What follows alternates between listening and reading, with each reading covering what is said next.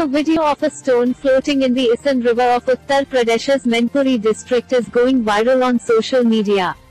According to reports, the mysterious stone had the name of Lord Ram inscribed on it.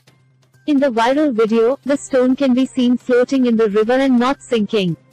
The weight of the stone is reported to be around 5.7 kgs. The viral video is reported to be from a Himalpur in Thana Bevar area of Mainpuri district. On the morning of July 30th, a few village children had gone fishing in the river. While fishing, the children allegedly saw something black floating in the river.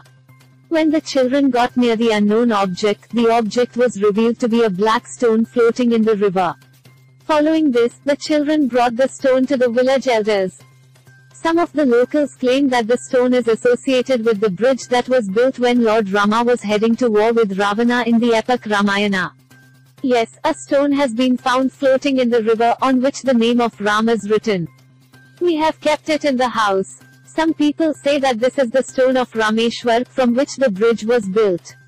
Everyone has their own opinion, village head Nitin Pandey said. Meanwhile, the locals want this stone to be installed near a temple for worship.